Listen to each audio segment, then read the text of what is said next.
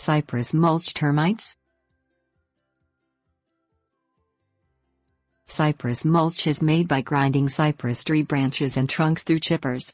Cypress trees are important parts of swampland and wetland ecosystems, so logging of cypress for mulch is under scrutiny by conservation groups.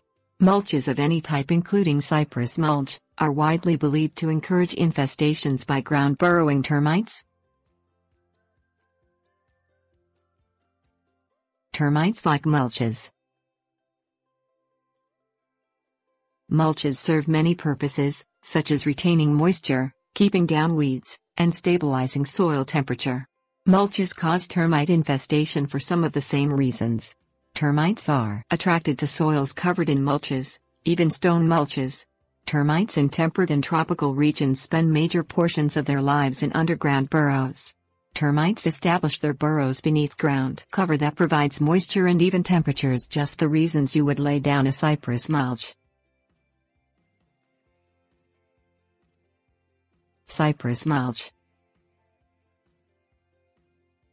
Cypress mulch is made from pond cypress and bald cypress. Both of those species live in swampy areas, so the mulch made from them is resistant to wet rot. This makes for a good mulch. However, dry cypress mulch may actually repel water, making it difficult for underlying soil to absorb water. Termite resistance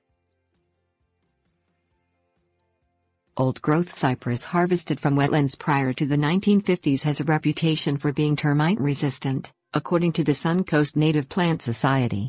A 1999 University of Florida study of termite consumption of common landscaping mulch showed that reputation was deserved, as termites only consumed a small percentage of cypress heartwood as compared to other woods in the study.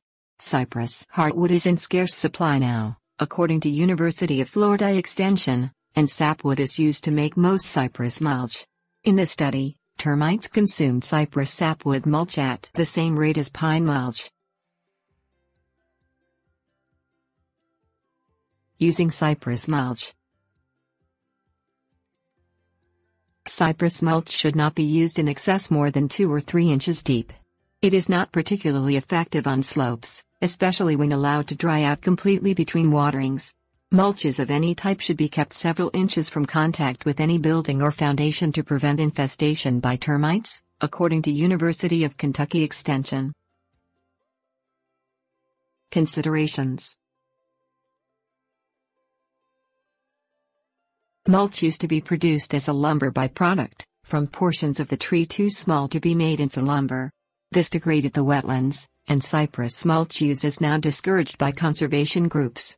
Recycled yard waste, pine straw, melaleuca wood mulch and decomposing leaves are adequate substitutions for cypress mulch that don't attract termites or harm the environment, according to Suncoast.